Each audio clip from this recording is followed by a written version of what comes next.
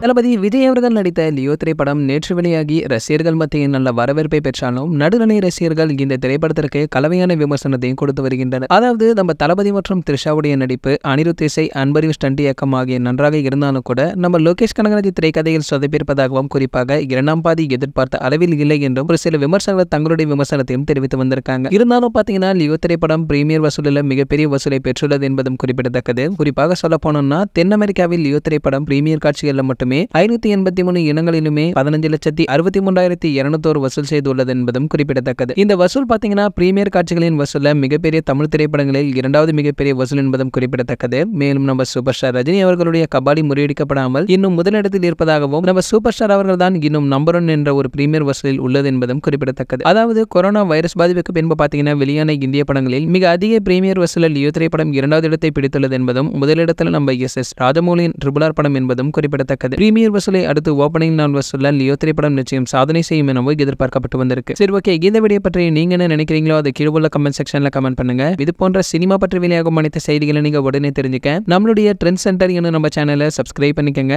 பக்கத்தில் உள்ள பில்லைக்கான கிளிக் பண்ணிட்டீங்கன்னா நீங்க நம்ம வீடியோவை மிஸ் பண்ணாம பார்க்கலாம்.